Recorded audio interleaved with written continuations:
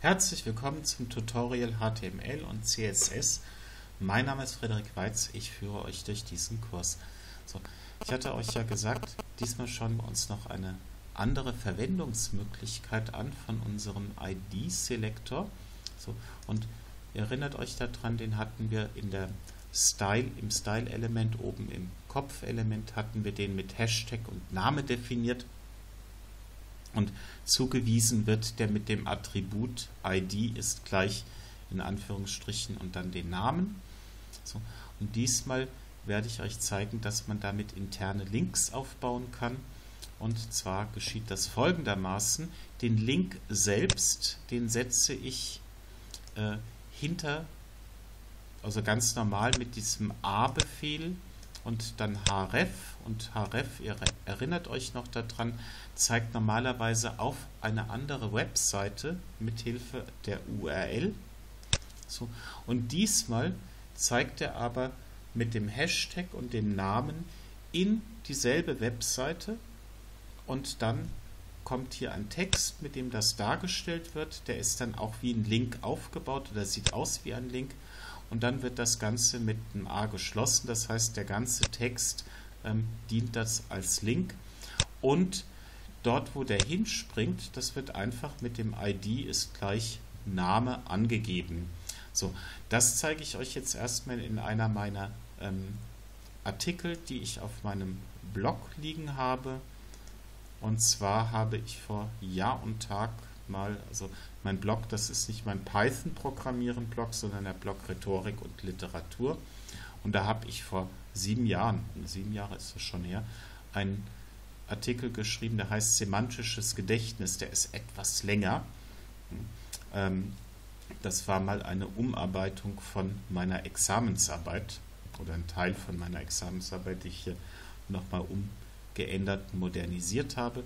Und der ist lang geworden und da gibt es ein Inhaltsverzeichnis dazu. Und wenn man hier auf eine der Sachen draufklickt, dann springt man auch direkt zu der entsprechenden Stelle. So, jetzt schiebe ich euch das ein bisschen weiter rein, weil da seht ihr dann auch eine der Leistungen von dem von diesen Links. So, hier oben, ähm, das ist sozusagen der Rand von dem Browser, nicht von dem Artikel. So, und wenn ich jetzt hier auf semantisches Gedächtnis klicke, dann springt er mir so dorthin, äh, dass semantisches Gedächtnis ähm, ganz oben steht. Hiervor steht in, der, in dem HTML-Code selber drin, ähm, steht äh, dann auch diese ID, die eben genau hier die Überschrift semantisches Gedächtnis angibt. So, aber das werdet ihr noch spitz kriegen, wenn ihr damit mehr programmiert. Ich klicke das jetzt erstmal wieder weg und wir legen uns so etwas an. Ich möchte, dass dieser Teil einen Link bildet und hier unten auf den Anfang von diesem Abschnitt hin zeigt. So, ich gehe also hin, a ist gleich href, href gleich Anführungsstriche auf und ich nenne das Ganze mal Rot 1. Hier oben vorsichtig, äh, das müsst, müsst ihr immer aufpassen, mit einem Hashtag angeben. Es folgt keine URL, sondern einfach nur dann die, der ID-Name und dann muss ich irgendwo das A-Element auch wieder schließen. So, und das mache ich sinnvollerweise um einen markierten Bereich herum. So, das ist das erste, was ich machen muss. Das zweite, was ich machen muss, ist, dass ich hier unten eine ID hineinsetze. ID ist gleich rot 1. So, und das war es dann auch schon. Jetzt werdet ihr sehen, das ist witzlos, weil sich sozusagen der Ort, wo er hinspringt und der Ort, wo der Link steht, sich auf dem gleichen ähm, Seite befinden. So, und deshalb werde ich jetzt einfach mal ganz sinnlos ein paar ähm, Zeilensprünge einfügen. So, das kopiere ich mir jetzt einfach mal und dann ganz viele Zeilensprünge. Das heißt, es wird ganz viel leer sein. Aber dafür werden wir dann auch sehen, der Befehl funktioniert. Ich speichere das Ganze ab. Ich gehe in meinen Browser hinein, lade nochmal die Seite neu und ihr seht, ähm, jetzt ist hier ganz viel Platz drin.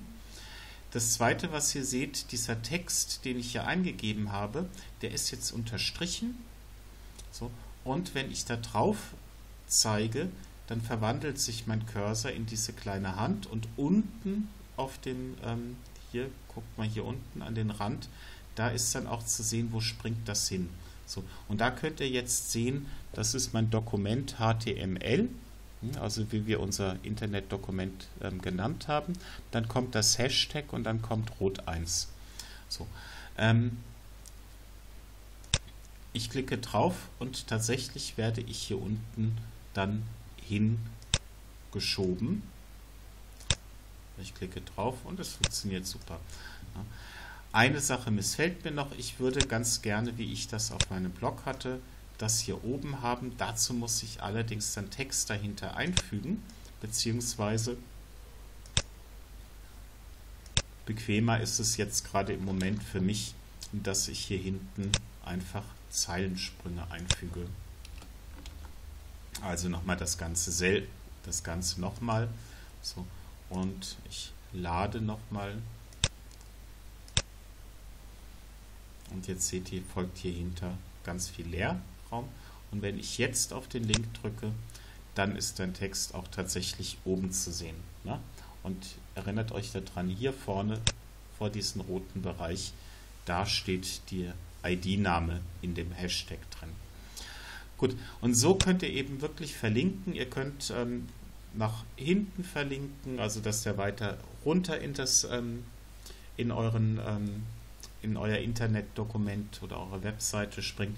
Ihr könnt natürlich auch von unten, von dem Ende des Website-Dokumentes, könnt ihr nach oben springen. So, und das könnt ihr also hin und her schalten, wie ihr lustig seid. Ne? Ihr braucht eben diese beiden Befehle, einmal dieses href oder ahref, das den Link markiert und eben diesen ähm, Identity-Namen. Gut, das ist für diesmal gewesen. Ähm, ich hoffe, euch hat das Video gefallen. Dann drückt mir bitte einen Daumen hoch und wir sehen uns beim nächsten Mal wieder und da zeige ich euch, wie man sich Ränder um solche Texte setzt und wie man die gestaltet und so weiter und so fort. Dafür brauchen wir ein paar Videos, aber damit fangen wir das nächste Mal an. Bis dahin wünsche ich euch fröhliches Programmieren.